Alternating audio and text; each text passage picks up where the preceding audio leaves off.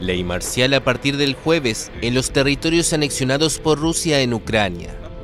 Así lo ordenó el miércoles el presidente ruso Vladimir Putin en una reunión de su Consejo de Seguridad.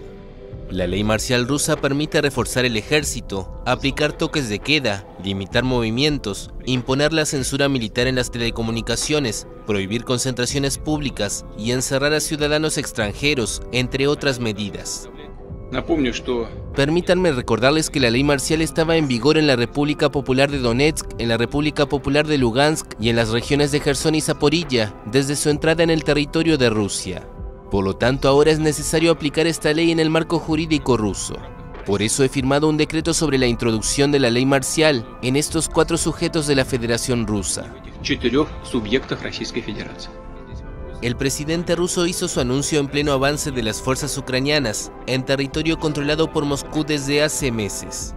Las autoridades instauradas por el Kremlin en la región de Gerson informaron que se retiraban de la ciudad con el mismo nombre y dijeron que tenían previsto trasladar hasta 60.000 civiles en menos de una semana.